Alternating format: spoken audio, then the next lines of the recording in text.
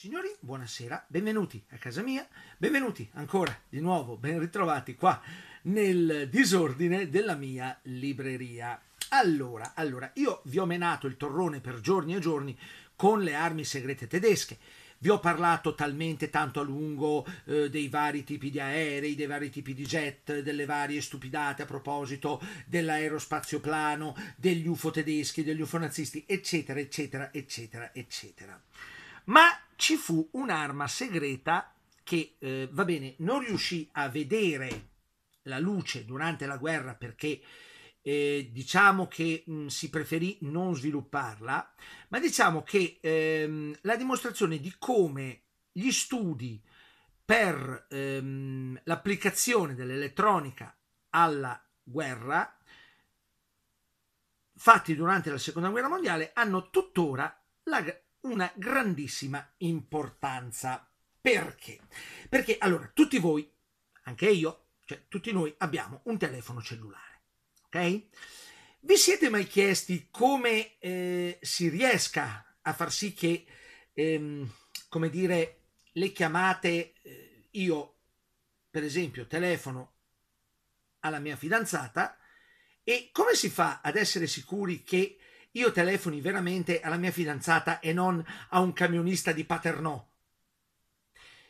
È un sistema che si chiama frequency hopping e frequency ehm, frequency hopping, scusate, e frequency agility. È un sistema che era stato studiato come ehm, diciamo mh, sistema mh, brevettato, fu brevettato il, ehm, eh, il, l'11 agosto 1942.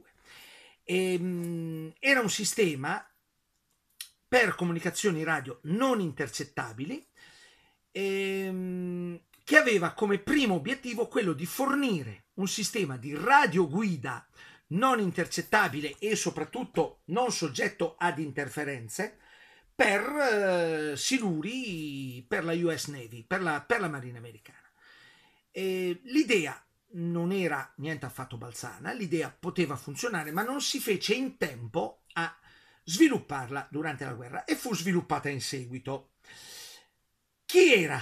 Chi erano i creatori di questo sistema cosiddetto frequency hopping? Eh, salto di frequenza o agilità di frequenza.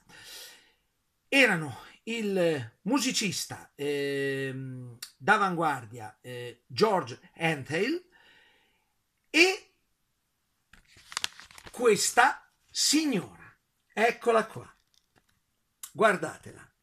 Una delle donne più belle che abbiano mai, calca- che abbiano mai eh, lavorato a Hollywood, una delle attrici hollywoodiane più belle, più splendide, più meravigliose, Hedy Lamar, che era una... Mm, allora, Hedy Lamar fu definita la ragazza più, più bella del mondo. Era attrice, eh, un'attrice austriaca, eh, che si trasferì, mh, mm, nata come, con il nome di Hedwig ehm, il suo vero nome era Edwig Eva Maria Kisler, era viennese, nata nel 1913 e non era solo quella che all'epoca venne definita la ragazza più bella del mondo. E insomma, gente, scusate, eh? Cioè, scusate, scusate se ve lo dico, guardatela bene. Gente, guardatela bene. Cioè, è indubbiamente una delle donne più belle della storia, sicuramente. Una delle donne più belle non solo della, più, della sua epoca, ma di tutti i tempi. Ma era anche eh, Eddie Lamar, il nome cui il nome d'arte con cui divenne famosa, era anche una donna di straordinaria intelligenza perché fu lei, con questo musicista, con questo George Antel, a studiare questo sistema del salto di frequenza, del frequency hopping, che permetteva di ottenere eh, segnali radio praticamente inintercettabili. E questi sistemi, ripeto, sono alla base delle contromisure delle quali i radar attuali dispongono perché il loro segnale non venga intercettato e soprattutto sono alla base questi sistemi del salto di frequenza, della agilità di frequenza, sono alla base dei moderni sistemi per criptare le trasmissioni e anche per evitare, ripeto, che io col mio telefono cellulare, al posto di telefonare alla mia amorosa, eh, eh chiamo, ripeto, o un camionista di Paternò o una eh, casalinga eh, 85enne di Voghera. Eh, è questo che ce lo permette. Lei, George Antel e soprattutto lei, Hedy Lamar, appassionata di appassionata radioamatrice, appassionata di radio, appassionata di, di scienza, di tecnica. Ripeto, una donna incredibilmente bella, ma anche una donna incredibilmente, straordinariamente e fantasticamente intelligente, l'inventrice del sistema che ci permette di comunicare con i telefoni cellulari. Una innovazione nata durante la seconda guerra mondiale. Per la serie altro che quelle cazzo di Wunderwaffen di merda, permettetemi di dire. Eh, insomma, scusate, eh, lei fuggì dalla, dall'Europa perché, mettiamola così, donna libera, donna intelligente, donna anche scandalosa, perché suo fu uno dei primissimi nudi integrali della storia del cinema.